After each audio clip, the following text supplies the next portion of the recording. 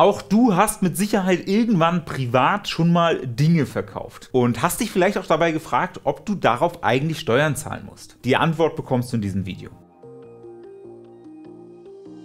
Hi, mein Name ist Melcher von der Kontist Steuerberatung und ich glaube, jeder von uns hat irgendwann mal privat irgendwelche Gegenstände oder Dinge verkauft. Und ehrlicherweise ist bei Privatverkäufen der Übergang zu einer gewerblichen Tätigkeit irgendwie ja auch fließend. Und natürlich muss man sich da anschauen, wann man eigentlich wie steuerpflichtig wird. Denn du kannst nicht jeden Privatverkauf steuerfrei haben in beliebiger Höhe, Anzahl, Frequenz und so weiter. Welche Regelungen da genau gelten, schauen wir uns jetzt mal im Detail an. Schauen wir uns ganz am Anfang erstmal die Definition von einem Gewerbebetrieb an, weil auch private Verkäufe, wenn die ganz häufig passieren, könnten ja unter Umständen irgendwann vielleicht mal selbstständig sein. Und die Definition von einem Gewerbebetrieb steht in 15 Absatz 2 Einkommensteuergesetz und da steht genau, eine selbstständige, nachhaltige Betätigung, die mit der Absicht Gewinn zu erzielen unternommen wird und sich als Beteiligung am allgemeinen wirtschaftlichen Verkehr darstellt, ist Gewerbebetrieb. Da sind zwei Punkte, die besonders wichtig sind. Einmal eine nachhaltige selbstständige Tätigkeit. Auch wenn du es als Angestellter für deinen Chef machst, dann ist das keine selbstständige Tätigkeit. Und die Absicht, Gewinn zu erzielen. Das heißt, wenn du einmal deinen Dachboden aufräumst oder deinen Keller und die Sachen auf Ebay verkaufst,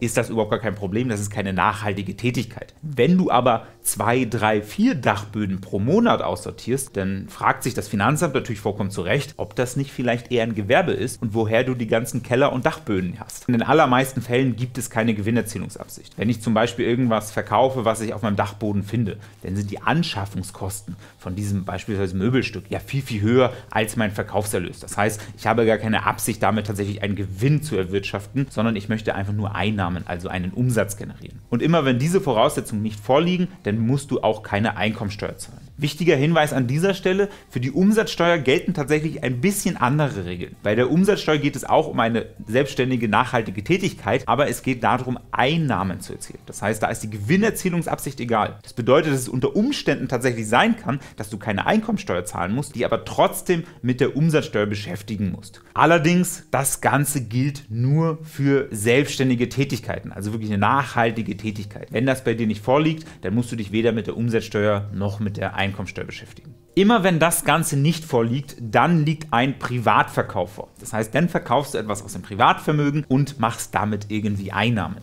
Und diese Privatverkäufe sind in den allermeisten Fällen steuerfrei. Und was du genau prüfen musst und unter welchen Umständen du gegebenenfalls doch Steuern bezahlen musst, das gucken wir uns mal im Detail an. Und als erstes schauen wir uns die Gegenstände an des täglichen Gebrauchs. Das heißt, das so, was man klassisch auf dem Flohmarkt oder eBay Kleinanzeigen verkauft, aber auch zum Beispiel gebrauchte Autos. Also gebrauchte Autos oder gebrauchte Kleidung, die du auf Vinted verkaufst oder gebrauchte Spielsachen, die du weitergibst, weil das Kind zu groß geworden ist und so weiter. All die Dinge des täglichen Bedarfs, die kannst du steuerfrei verkaufen. Da musst du dir gar keine Gedanken machen. Diese Gegenstände sind immer steuerfrei. Bei allen anderen Gegenständen, also nicht den Gegenständen des täglichen Bedarfs, das heißt, wir reden hier über zum Beispiel Sammelkarten, Sammelfiguren, Briefmarken, antike Möbel und so weiter. All diese Gegenstände sind unter Umständen steuerpflichtig. Allerdings auch nur dann, wenn du einen Gewinn machst. Also immer dann, wenn du zwischen Ankaufspreis und Verkaufspreis einen Verlust machst, dann musst du auch keine Steuern bezahlen. Ist auch relativ logisch. Du zahlst nicht deine Steuer auf den Verkaufserlös, also auf den Umsatz, sondern auf den Gewinn. Deswegen musst du immer die Anschaffungskosten und die Verkaufskosten gegenüberstellen und immer wenn du einen Verlust gemacht hast, zahlst du natürlich auch keine Steuern und darfst das Geld aus dem Verkauf natürlich vollständig behalten. Wenn du allerdings einen Gewinn machst, dann musst du schauen, wie lange hast du diesen Gegenstand denn besessen. Also beispielsweise einen antiken Schrank. Und wenn du diesen Schrank länger als ein Jahr besessen hast, dann kannst du ihn auch mit Gewinn verkaufen und musst keine Steuern bezahlen. Dieses eine Jahr, das ist die Spekulationsfrist. Und alles, was du länger hältst, ist grundsätzlich steuerfrei, selbst wenn du damit hohe Gewinne erzielen solltest. Das heißt, wir schauen uns jetzt die Dinge an, die du privat verkaufst, mit denen du einen Gewinn machst und die du innerhalb eines Jahres kaufst und verkaufst. Und immer dann hast du eine Freigrenze von 600 Euro. Das heißt, du kannst mit privaten Verkäufen einen Gewinn machen in Höhe von 600 Euro pro Jahr. Wenn du dann über 600 Euro liegst, also 601 Euro, dann musst du komplett versteuern. Und zwar die 601 Euro. Das heißt, die 600 Euro ist kein Freibetrag, sondern eine Freigrenze und du musst dann alles versteuern, sobald du sie überschreitest.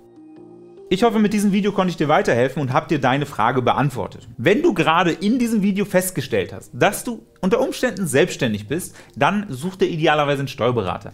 Wir sind so ein Steuerberater, spezialisiert auf Freiberufler und Selbstständige und helfen dir gerne weiter. Alle Informationen zu unserem Angebot und wie wir dir weiterhelfen können, das erfährst du, wenn du einmal hier klickst. Aber du kannst natürlich auch erstmal die weiteren Videos auf diesem Kanal anschauen, zum Beispiel dieses hier oder dieses hier.